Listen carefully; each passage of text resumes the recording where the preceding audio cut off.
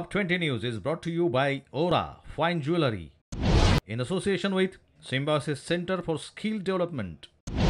नमस्कार, स्वागत है आपका इन बीसी न्यूज़ पर। आज के टॉप 20 में मैं हूँ आपके साथ भाग्यश्री। लोकसभा चुनाव 2024 से पहले भारतीय जनता पार्टी ने दिल्ली के भारत मंडपम में हुए राष्ट्रीय अधिवेशन से अपनी रणनीति पर काम करना शुरू कर दिया है। बीजेपी के राष्ट्रीय अधिवेशन के दूसरे दिन प्रधानमंत्री नरेंद्र मोदी ने पार्टी कार्यकर्ताओं को संबोधित किया। शिवसेना यूबीटी सांसद संजय राउत ने कहा है कि बीजेपी में जाने वाले लोग आखिरी समय तक हमसे बात करते रहते हैं, फिर चले जाते हैं।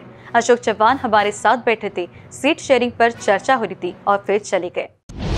प्रधानमंत्री नरेंद्र मोदी कल जम्मू का दौरा करेंगे। पीएम लगभग साढ़े ग्यारह बजे जम्मू के मौलाना आज़ाद स्टेडियम में एक सार्वजनिक समारोह में तीस हज़ार पाँच सौ करोड़ रुपए से अधिक की कई विकास परियोजनाओं का उद्घाटन और आधारशिला रखेंगे। दिल्ली के मुख्यमंत्री अरविंद केजरीवाल आज भी ईडी के सामने पेश नहीं होंगे। आपका कहना है कि ईडी का समर गैर कानूनी है। ईडी के समन की वैधता का मामला अब कोर्ट में है। कांग्रेस नेता जयराम रमेश ने कहा कि आज भारत जोड़ो न्याय यात्रा का सैतीसवा दिन है। आज बाबूगंज में कांग्रेस अध्यक्ष मल्लिकार्जुन खड़गे और राहुल गांधी एक जनसभा को संबोधित करेंगे। कांग्रेस नेता राहुल गांधी की भारत जोड़ो न्याय यात्रा आज दोपहर बाद अमेठी पहुंचेगी। जहाँ न्याय यात्रा का स्वागत किया जाएगा, वहीं राहुल गांधी की गांधीनगर के टोल प्लाजा के पास जनसभा होगी। महाराष्ट्र के नागपुर में छत्रपति शिवाजी महाराज की तीन जयंती के जश्न के तौर पर लोगों ने सड़कों पर ढोल बजाया और आरती की। पीएम मोदी आज लखनऊ में Uttar Pradesh global invest summit 2023 के चौथे ग्राउंड ब्रेकिंग समारोह में 14,000 परियोजनाओं का शुभारंभ करेंगे। फ़सलों के लिए न्यूनतम समर्थन मूल्य की कानूनी गारंटी समेत विभिन्न मांगों को लेकर किसानों के दिल्ली चलो मार्च के बीच हरियाणा में खाप पंचायतों एवं किसान संगठनों ने रविवार को कहा कि यदि उनकी मांगे पूरी नहीं की जाती है तो वे 20 फरवरी को जिन में महापंचायत के दौरान कड़े निर्णय लेंगे। पश्चिम बंगाल में सत्तारूढ़ तृणमूल कांग्रेस के सदस्यों द्वारा संदेश खाली में महिलाओं के यौन उत्पीड़न के आरोपों को लेकर जारी राजनीतिक विवाद के बीच प्रधानमंत्री नरेंद्र मोदी 7 मार्च को राज्य के बारासात में महिलाओं की रैली को संबोधित कर सकते हैं। उत्तराखंड में हल्दानी के बनपुलपुरा इलाके में कर्फ्यू में और ढील दी गई है। और नैनीताल जिला प्रशासन ने रविवार को बताया कि कर्फ्यू अब केवल रात 10 बजे से सुबह 5 बजे तक ही रहेगा। राष्ट्रीय राजधानी दिल्ली में भी आज सोमवार को बारिश होने को लेकर अलर्ट जारी किया गया है। दिल्ली में रविवार को न्यूनतम तापमान आठ दशमलव छह डिग्री सेल्सियस दर्ज किया गया।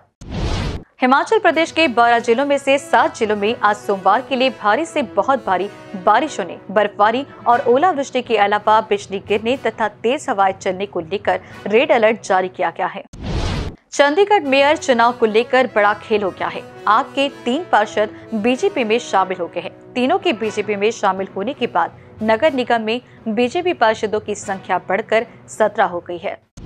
रविवार को लंदन में British academy of film and television arts यानी बाफ्टा फ़िल्म अवार्ड होस्ट किए गए थे।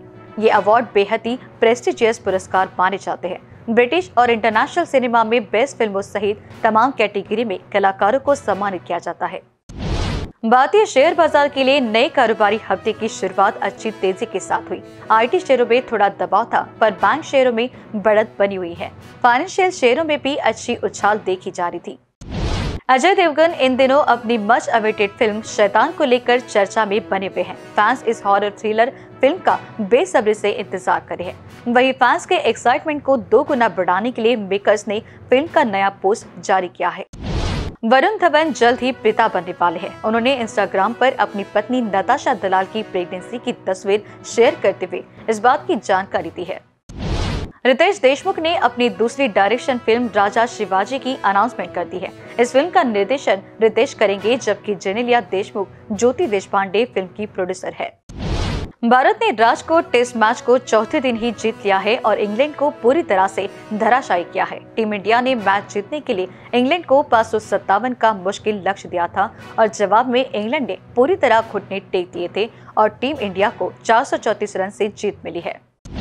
ये थी आज की टॉप ट्वेंटी खबरें। खबरों का सिलसिला यूँ ही चलता रहेगा। आप देखते रहिए इन न्यूज़। नमस्कार।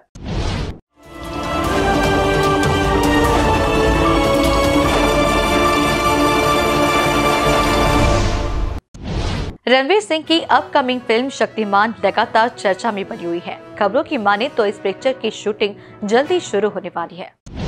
ये थी आज की टॉप ट्वेंटी खबरें। खबरों का सिलसिला यू ही चलता रहेगा। आप देखते रहिए इन न्यूज़। नमस्कार।